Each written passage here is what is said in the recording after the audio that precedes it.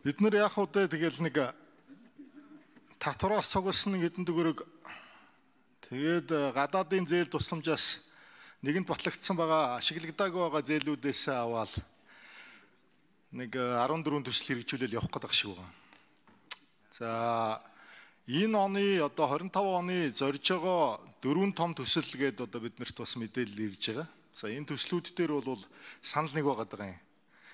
Тэр хил холболтын цэг төмөр замууд за тэгэл тэр Францын одоо ураны төсөл гээл те тэгээд энэ таван толгоон цахилгаан станц гэдэг энэ томоохон төслүүд ингээд явхаар төлөвлөгдөж байгаа. Засгийн газар энэ ажлуудыг бол маш сайн дэмжиж байгаа. Ер нь бол мөнгө олж ирэх, орлого олох юмнууд яваад байгаа юм. Зүгээр бид нар энэ хөрөнгө оруулалтыг татах тал дээр ирэх жилүүдэд ер нь ямар бодлого барих юм бэ? Ялангуяа бидний хамгийн том олон улсад гаргаа тавьдаг салбар бол одоо тэгэл яалтчгүй ашиг нутгийн салбар шүү дээ. Өөрөөр хэлбэл биднэрт орлого олж ирдэг 3 дахь их үүсвэр буюу энэ 3 дахь ч одоо хөрөнгө оруулалтын орчныг хэрхэн дэмжиж гэдэг юм.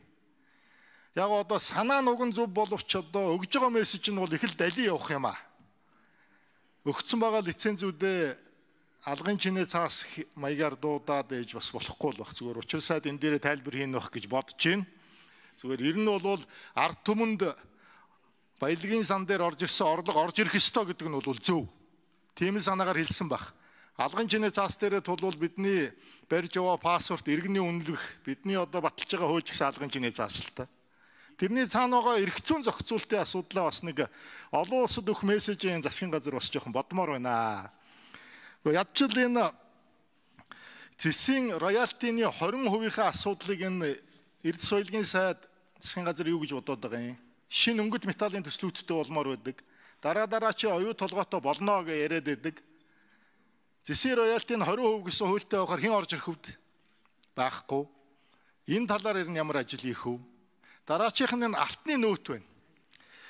Дөрвөн том төсөл хэрэгжүүлээ явахтай зэрэг импорт ихсэн, импорт ихсэхтэй зэрэг ханшаа алдах эрсдэл рүү орно. Ханшаа алдах юм бол юмны үн өснө л гэсэн үг. Тэгэхээр нэг амортизатор бий болох ёстой учраас энэ алтны салбар дээр нөөтийн хөнгөлөлт, тэглэлт гэдэг юмнууд байгаа юу?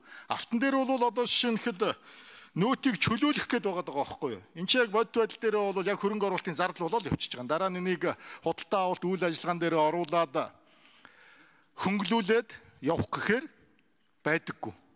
Тэгэхээр тэглэх талаар ч гэдэг юм уу те. Ерэн зүгээр энэ ханшаа барих тал дээр хөрөнгө оруулалтыг тогтворжуулах тал дээр та нар маань ер нь юу бодож байгаа юм бэ? Ийм нэг асуулт байна. За дараачийн асуулт бол би өмнө нь энэ гişүүдийн хилээд байгаа саналууд дээр зориуд цуурай төлж олон гişүүн дэмжиж байгаа шүү гэдэг санаагаар хоёр санаа хэлий. Нэгдүгээр тийм дархан арьс ширний зохицолборын асуудал байна. Дархан арьс ширний зохицолборыг энэ үйл ажиллагааны хөтөлбөртөө тусгай Олон жил ярьлаа. Хиймээр байна. Олон мянган ажлын байр бий болох ёстой энэ төсөл шүү. Энийг заавал хийж өгөөч. За төгсгөлд нь бол энэ гадаадын ажиллах хүчний орлогоос за нэг энэ жилийн нэг 140 тэрбум төгрөг тавьчихсан байлээ дээ хөдөлмөр эрхлэлтийг дэмжих сан дээр. Тийм ээ инхан улан сайда. Тэр мөнгөөр нэг хайх тэр хөдөлмөр эрхлэлтийг дэмжиж байгаа юм байхгүй шүү дээ. Тэр гадаадын ажиллах хүчний квотыг нь чөлөөлөөд төлбөр мөнгийг нь бас бууруулчих болдгоо юм уу? 91 мөссөн. Тэгэхгүй бол энэ ажлын хүн алга биш шүү дээ. Энэ төслүүдийг хэрэгжүүлэх хүн алга биш. За засгийн газрын хэрэглэх газрын дарга нэм асрын учрал хариулт өгнө. За тэгээ алгын чинээ байна уу, алд дэлэн байна уу ер нь хамаагүй л дээ. Гол нь агуулгандаа л оршдог. Тэр алгын чинээ цаасуудыг чинь арын хаалгаар, ар үүрийн хаалгаар авилгадж авдаг болсон болохоор энэ ард түмэнчин газрынхаа хэвлийн баялагийнхаа ноогдлоо шиг хүртэхгүй шүү дээ.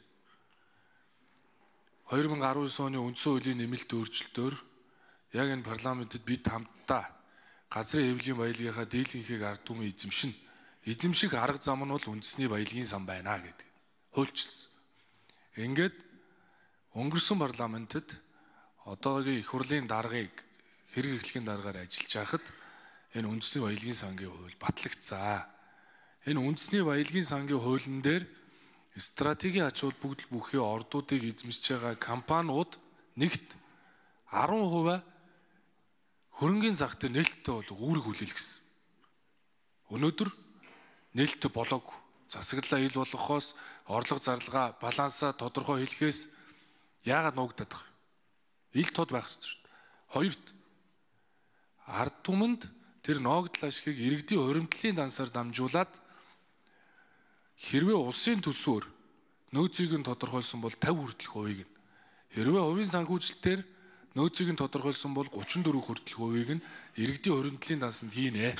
Төр авахгүй, засаг авахгүй үнийг нь эрүүл мэнд боловсрол орон сууцнд зарцуулна гэдэг хуульчилсан. Тэр засгийн газрын үндсэн үүрэг юм бэ гэхээр хуулаа биелүүлэх. Хууль биелүүлэх. Тэгэхээр үндэсний баялагын сангийн хуулийг биелүүлэх үүрэгтэй засгийн газар тогтоол гаргаад эдгээр компаниудтай хилцээр хийя л гэж. Хилцээр хийгээд эцсийн үр дүнд ард түмэн иргэд хожих ёстой. Хуримтлалын дансанд хуримтлал нэмэгдэх ёстой. Өнгөрсөн хугацаанд төрийн эзэмшлийн 7 хуулийн этгээд ноогдол ашиг хуримтлалын дансанд хуримтлуулахад хуримтлалын нансанд 500 тэрбум төгрөг хуримтлагдсан юм байна. Үүнийг 5000 айлын ипотекийн зээлд хамруулах асуудал зарцуулсан юм байна. Тэгвэл хуримтлалын данс цаашдаа энэ хуримтлал нэмэгдэх юм бол олон айлын ипотекийн зээлд хамруулах асуудыг шийдвэрлэх юм байна.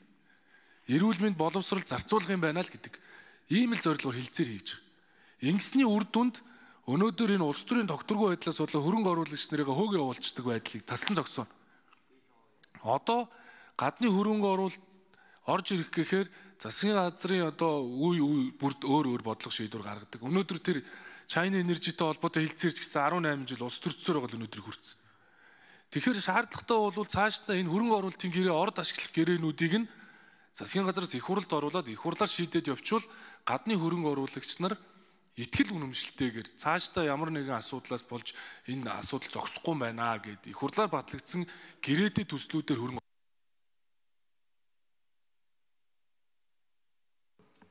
За жавхлан сайд нэмж хариулъя.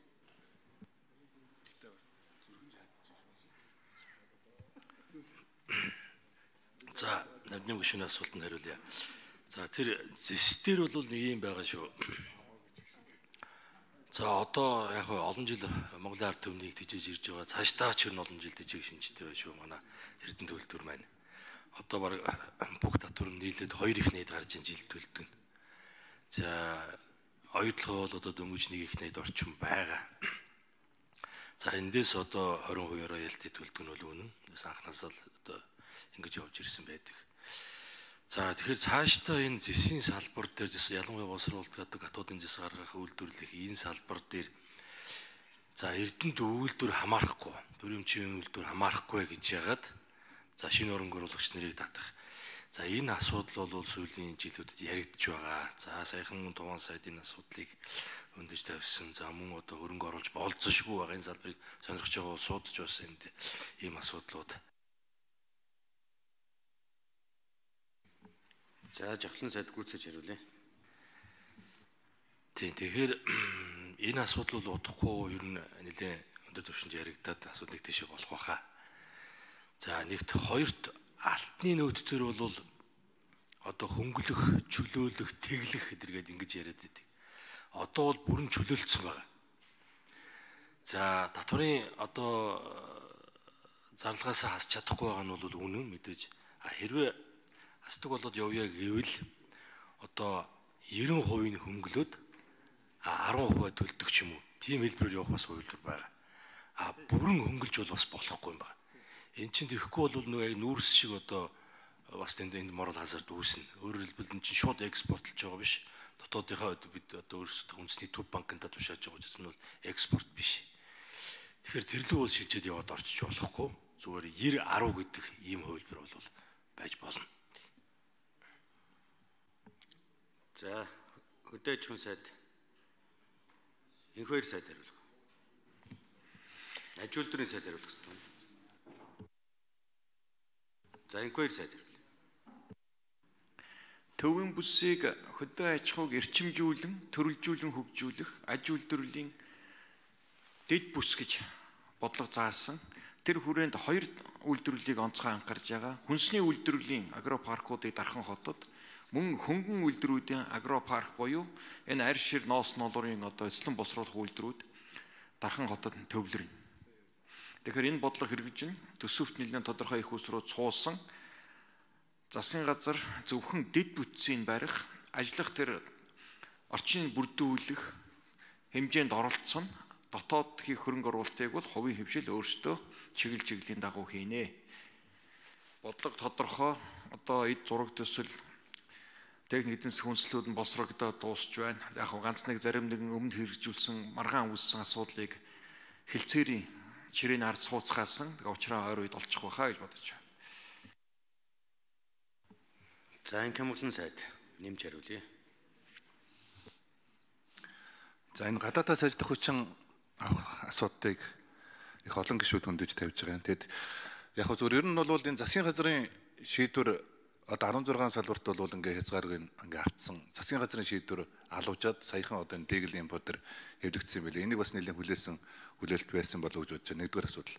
За хоёрдугаар асуудал бол тэр 50% хөнгөлтийн асуудал нь их хурлын тогтоолоор хөнгөлсөн билээ. Их хурлын тогтоолоор. Тэгэхээр нэг нь нөгөө хязгаарлалтыг авсан засгийн газрын тогтоол хөнгөлт хийсэн нь бол их хурлын тогтоол байгаа учраас энэ хоёр тогтоолыг одоо бид нэр ойрын хугацаанд ер нь хэрэгжүүлэх энэ боломжуудыг хангаж ажиллая л гэж одоо харж байгаа. Энэ дээр нэг юм жаахан үл ойлголцлууд үүссэн юм байна. Хэрэгжүүлэхэд бас нэг жаахан өндөрлүүд үүссэн юм байна гэж харж байгаа. Нэгдүгээр асуудал. Хоёрдугаар асуудал бол яг энэ зөвшөөрөл олгож байгаатай холбоотой 2 сар алддаг юм байна. Яг үнэхээр үний юм бэ. Тэгэхээр энэ 2 сар болж байгаа энэ хүн зуртлын энэ процессүүдийг л одоо бид нар автоматжуулах хүнээс хамааралгүй болох хэрэгтэй юм байна гэж харж байгаа. Гуравдугаарт нь бол бид нар хуулийн энэ хязгаарлалттай залтууд дээр өөрчлөлт хийхээс өөр Нэгэнт одоо засгийн газрын шийдвэр гарсан чинь зарим процессыг бүр байхгүй болох хэрэгтэй байхгүй. Заавал ч нэг шат дамжлага байх ёстой юм шиг л хандаад идэг тий. Тэгэхээр тэр процессүүдийг нь байхгүй болох тэр хэрэгтэй. За дамжин юм гişүн тодруулж асууя. Тэр яг тэ яг одоо засгийн газрыг маань ард түмэн маань сонсож байгаагаас гадна гадны хөрөнгө оруулагч сонсож байгаа шүү гэдэг утгаар л хэлсэн шүү учирсаа дээ. Тэгэхээр биднэрт шинэ мөнгө хэрэгтэй. Шинэ мөнгө хэрэгтэй шинэ мөнгө хэрэгтэй энэ мөнгө хөрөнгө оруулалтаар орж ирнэ. Хөрөнгө оруулалтын орчныг таатаа болгох асуудал манай засгийн газрын бодлого чухал мөн бас илэрхийлэх үг үйлдэл чухал байгаа учраас бас анхаарна үзье. Яг тантай яг ижилхэн санал нэг байгаа. Би өөрөө ажлын хэсэгт нь орж ажилласан үндэсний баялагын сангийн хуулиа бол хэрэгжүүлэх тал дээр санал нэг байгаа. Хоёрдугаарт бас энэ 10% одоо стратегийн ордуудыг 10%ийг нь хөрөнгийн одоо бирж дээр гарах ёстой, листэд нээлттэй болох ёстой гэдэг зарчмыг хэрэгжүүлэх тал дээр засгийн газар нэлээд ажилламаар байгаа. Тэгээд энэ хөрөнгө оруулалтын орчин энэ тал дээр уг нь энэ уул уурхай хүнд үйлдвэрийн сайд л одоо хариулах ёстой байгаа юм да энэ лицензтэй холбоотой асуудал гэдэг байхгүй юм. За. За Сүхбаатарын Эрдэнэ гүшүүн.